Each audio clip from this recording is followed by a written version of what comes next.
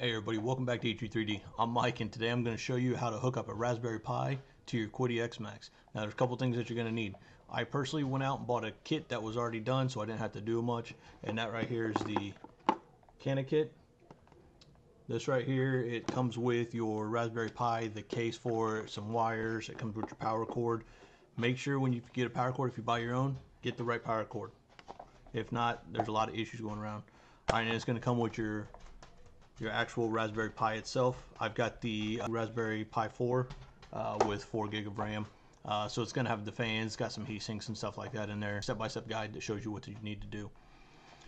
So a couple other things that you're going to need before you do this. You need to buy this thing right here.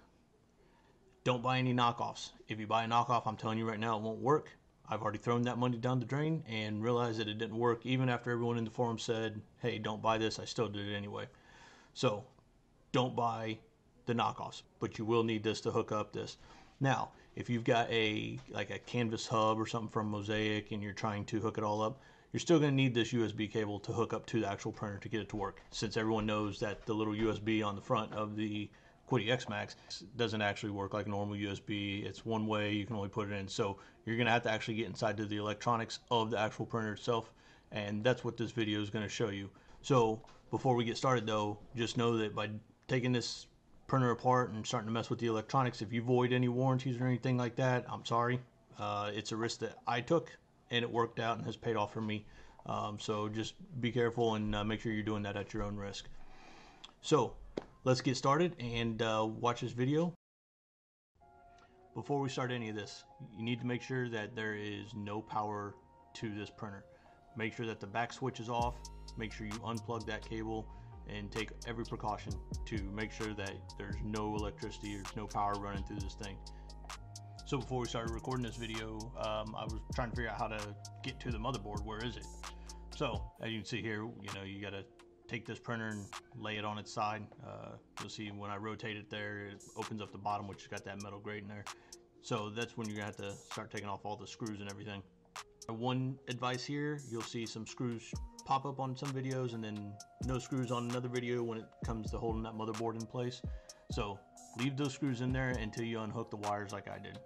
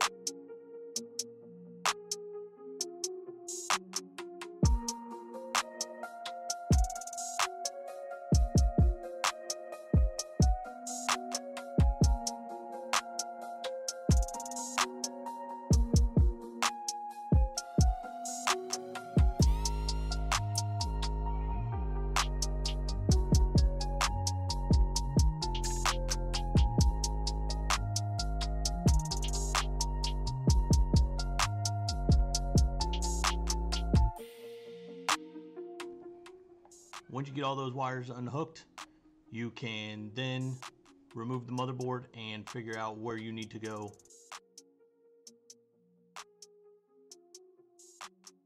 I've highlighted it here for you so you can see where you need to plug this in.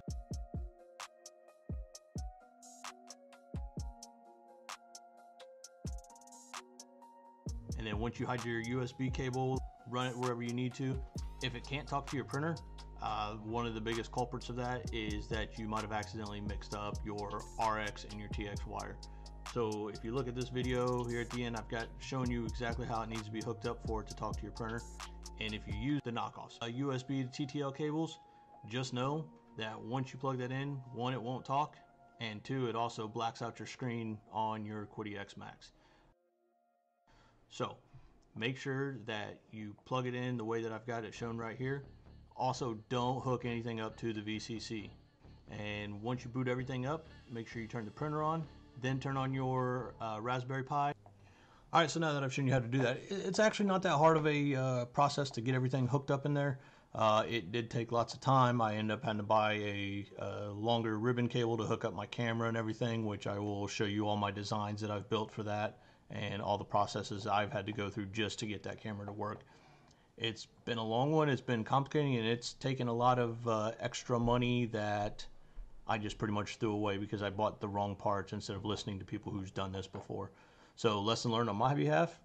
Um, but I hope this video has helped you. If it has, please like, share, subscribe it, hit the notification buttons, and tell your friends about this. Um, there's a lot of people out there that are wanting to do this, but there's not been any videos on this specific printer uh, because there was a lot of confusion that this wouldn't work for this printer.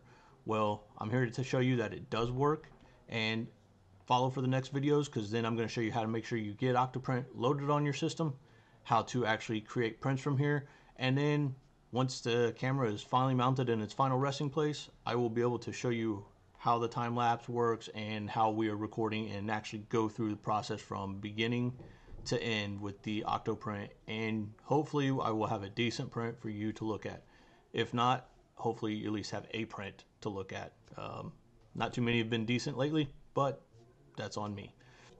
So good luck with this. I hope it works out for you. Let me know if it did. If it didn't, if you got any suggestions or better ways to do it, please send me a comment below and I'll read it, respond, and if I need to make some changes on here, please let me know and uh, we'll do it. Thanks.